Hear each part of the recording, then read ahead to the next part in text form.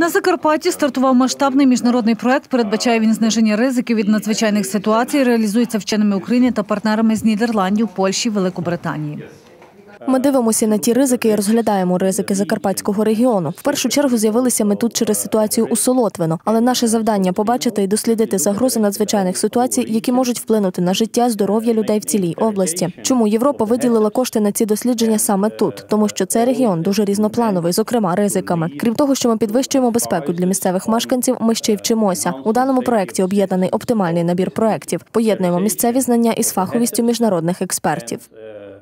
Працюють партнери вже рік. Головним об'єктом стали закарпатські соляні шахти в Солотвині, які в 2007 році затопило, сформувавши масивні карстові проваля. Учасники проекту розповідають, наразі працюють над створенням мапи ризиків, яка допоможе знайти чіткий інструмент вирішення ситуації. Ми працюємо на е, зібрання і мапування.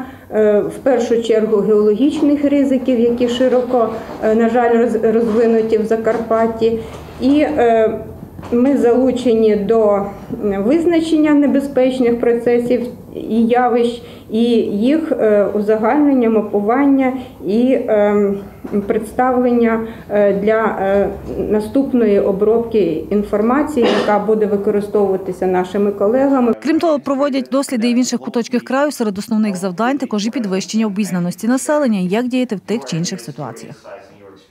Серед компетенцій це розробка компанії з підвищення обізнаності. І тут треба розуміти, що це не просто інформування, а прагнення змінити ставлення у трьох суміжних сферах емоційній, когнітивній та поведінковій. В першу чергу хочеться змінити рівень обізнаності із питань безпеки, а ще інформаційно підтримати нові рішення вирішення ситуацій.